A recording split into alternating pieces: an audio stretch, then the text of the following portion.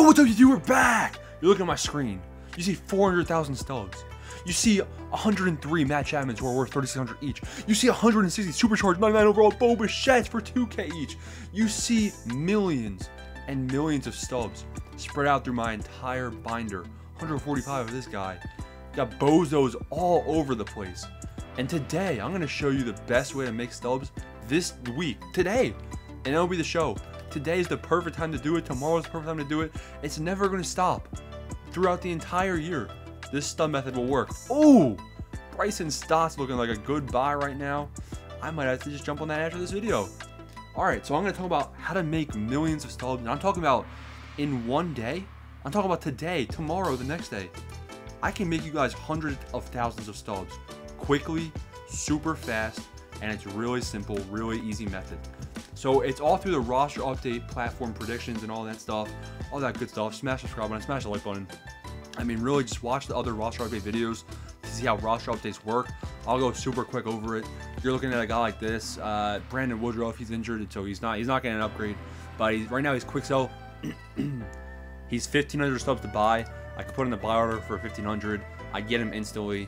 And then let's say even though he's injured and his arm is like you know bionic, he does he's not able to pitch for the next foreseeable future. Probably not till the All Star break, if then at all. Um, but let's say he you know he is able to pitch. He pitches a couple of shutout games, gets a plus one. Now he's an 85. Double your stubs right there. 85 overall. Quick sales 3,000. Double the stubs. There was zero risk because if he if he you know pitched with a a noodle for an arm, a pool noodle, and he was, you know, throwing 60 mile per hour eephuses down the middle, uh, there's no risk because before the roster update happened, I would have been able to quick sell them all for 1,500 stubs, and we would have been good to go. No harm, no foul. So the way to make the stubs though is to be smart with who we're putting the stubs into. Because buying a guy like Brandon Woodruff, he ain't going up. He doesn't have an arm. So you want to buy people that first off aren't going to get a downgrade. Because if they get downgraded, you lose stubs. But that's that's really easy to avoid if you're smart. Uh, and if you've been watching the channel and you bought Shane Bieber and SDS shafted you, I don't know what to say because that was pretty funny. Uh, I sold my Shane Biebers as soon as I saw him give him nine hits versus the Nationals. I got so mad. I was like, wow, give him nine hits to the Nationals. Uh, that's a whole different story though. But I'm, I'm talking about these are the cards right now that I like that you can buy easily right this right this instant. Use this method, make tons of stubs. So I have a bunch of uh, investments myself that I did as soon as the last roster update hit. Before that, I've already made my millions and millions of stubs. Um, so I'm doing my thing. But right now, there's a couple guys that are already up in price. The guys that are already getting upgrades, look at this. Sonny Gray, an 81 overall uh, quick sale value is 600 stubs. He's already 2,000 stubs. You don't want to buy guys like this because they're already overpriced. Not necessarily overpriced because he is getting an upgrade, but there's just not much profit to be made. So you, you want to look at guys that have first off, zero, really low risk and really high upside. Guys like Nico Hoerner. Nico Hoerner, I don't know if I'm saying his name right, don't care. Uh, you know, comment the pronunciation in the comments. Uh, yeah, that'd be pretty funny. Uh, it's it's funny that I'm actually not able to pronounce it because, bam, I have 168 of them. Uh, I bought all these at 400 overall, at 400 quick sale value, I think. Um, I bought them at super at quick sale. I know he already got an upgrade, um, but I don't see him stopping. He's already he's still batting above 300. If he can get a higher OPS, his power will go up. Super low risk, and as long as he keeps tearing it up, there's not much downside to this, only upside. That's not the main cards I, I would suggest right now. I'm looking at guys like Framber Valdez. He has a sub 3 ERA. He's putting up a lot of strikeouts, and, you know, he's not much downside. You know, he's not giving up too many hits, not giving up too many walks. He's been basically mediocre in those categories. And a couple more electric starts with high strikeouts, he's going to get an upgrade, and it's low risk. And then my favorite cards is what we're going to talk about right now. We're looking at guys like Hunter Greene. Hunter Greene, look, what's his price? Quick sell. He's 400. Hunter Greene is 400 stubs to buy, and I have 364 of them. So I have 120,000 stubs put into this Hunter Greene, and why do I have that? Well, let's look at his stats in real life. His stats in real life, he has a 2.89 ERA, which is really good, especially for a young guy like him. 28 innings pitched, and 40 strikeouts. SDS, San Diego Studios, really likes pitchers who get a lot of strikeouts, and he's averaging over one strikeout per inning. He has 28 innings, 48 strike, 40 strikeouts, and he's playing super well. Last start was against Oakland, so take that with a grain of salt. But he had five innings pitched, gave up only five hits. He has been walking a couple guys, but he had 10 strikeouts through five innings. And he threw over 100 pitches. Um, let's look at his stamina. Stamina 77. He threw 100 and something pitches, 113 I think, against the Athletics. Um, I'm not sure. I'm not really sure if they upgrade stamina frequently for guys like this. Uh, usually, it's I'm, I'm pretty sure it's only positional changes. They might do stuff like that. It's really more like Ks per nine, hits per nine, walks per nine. Um, but looking at it, he's walked 11 batters in 28 innings, which isn't that bad for a starter. That's about 0.5 per innings pitched. I mean, it could be a little better. His home runs per nine, though, eh, his home runs per nine is 47. So really, it's about how many home runs has he let up this season. He's let up 0.3 home runs per nine innings. A 0.32 home runs per nine is very good. That's less than one per game, way less than one per game. So why does he have a 47 home runs per nine? I'm looking at that stat to go up. I'm looking at his Ks per nine at 78, and he just had a, a start with five innings pitched and 10 strikeouts.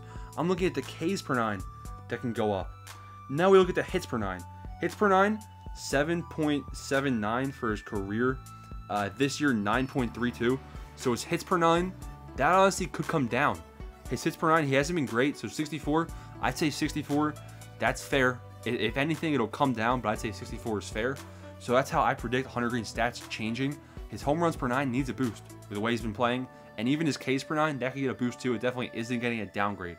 Walks per nine, 63, pretty fair. Home hits per nine, could come down. So looking at a guy like this, Hunter Greene, if he has a couple good more starts, I'm pretty sure he faces the Cardinals tomorrow. And starting pitchers, they go up in value the day they pitch, regardless of how they're performing, just because people want to watch the game and be invested in the player. So his price will probably be up at 450 tomorrow. Uh, sell now, and it'll probably be like closer to 500. Buy now, just before the game. And I'm pretty sure he's facing the Cardinals, who have the worst record right now. They do have a good hitting team, I think. I don't know how they have the worst record, um, but just stuff like that, like he, he's in a good position. It's going to be his last start before the update. And regardless of whether or not he goes off tomorrow or not, it's a good card like this to buy, and you want to find more of them. Let's say tomorrow he has 10 more strikeouts. He's getting an upgrade. And I turn my 400 stubs per card into 600, into 900 per card long term. And I have 300 of them. So that's a bunch of stubs made right there. A couple other cards that I like. We can look at my completed order so you guys can believe me. First off, Jack Flaherty.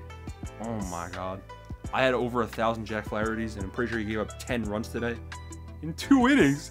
10 runs in two innings? What are you doing? He sucks. So I sold them all off. I, I was trying to sell them off before. I, I smelled blood in the water, so I sold them off quick. Um, but Brandon Nimmo is a guy I've been buying, as well as Austin Hays. I've been buying Brandon Nimmo and Austin Hays. So why am I buying those guys? Let's look at them real fast. Brandon Nimmo, another guy identified from this method. He's quick sell. He's a quick sell value card, 80 overall, and his stats in real life. This season, he's hitting 302, which is above his career. 302 and 116 at bats. His OPS is .825. Yeah, that's not great, but looking at his stats, there's room to improve on both sides of the ball. And I just think that 302, they're not going to downgrade him, right? He's playing well, and if he if he if he has a couple hot games, he could be keen for an upgrade, and he's at quick sale value, which this close to the update period is hard to find. Then we look at a guy like Austin Hays from the Orioles. The Orioles have been a hot team, been swinging the bat well. Quick sell value as well, zero risk. I can sell him up before the update if he starts playing like trash. He's got four homers, a .85 OPS, and he's batting 293. He's cooled down in his last couple games. Uh, in his last seven games, he's only hitting 240, which honestly I like that. I think that might be a, part of the reason why he's quick sell. Um, you can see he's had some high points later on, like in in early April I think he was supercharged at one point, which is where, why he was at a thousand stubs per. So look look for him to get hot again, right? There's no risk. They're not going to downgrade a guy who's hitting close to 300, most likely. So there's zero risk and a lot of upside to make stubs there. Now we're to go through my inventory personally. I mean, I already showed you most of those guys over on that side of the, uh, the inventory binder. So looking over at this side, I don't have any Giants players. I was invested in Bogaerts. I think Bogaerts will go higher. Uh, subscribe if you want Ross August predictions so you can stay tuned for those who I actually think is getting upgrades as we get closer to the period. But a lot of the guys, we got Hunter Greene right there. We just went through him. Why he's such a good buy. Hoerner's a good buy. Stro- I like Stroman. Stroman right now, Stroman's quick sell, and he's been playing very good ball. Uh, his earned run average is pretty low. We just need to get more strikeouts, get the Ks per nine number up. Then we got Meneses. I, I think Meneses, he's been hitting the ball very well. If you can get close to quick sell, I think, you know, his OPS his power could get reduced because he's hitting a lot of singles, but his batting average, it's been improving and he's getting hot closer uh, as the season progresses. And then I got a bunch of Phillies players. Alvarado, Alvarado gave up two earned runs. Eh, were they earned? And Mundo Sosa made the worst attempt uh, to field a ball I've ever seen in my life, and it was ruled a hit, even though it should have been an error. But he basically has zero earned runs on the season, except for those two uh, yesterday. Alvarado strikes out two batters per inning, nutty. He could get an upgrade by the dip. Matt Strahm, he got shelled against the Dodgers, uh, but once he gets back to a reliever, he might go up, he might go down. We'll have to see. Stott, I like this buy. Look at his stats. He's one of the best hitters on the Phillies right now. And then I got like Brandon Marsh, a little bit too late. Nick Castellanos, buy the dip. Maybe he'll have another hot streak and get a nice little boost. So that's how you want to make stubs right now, quick and over the show.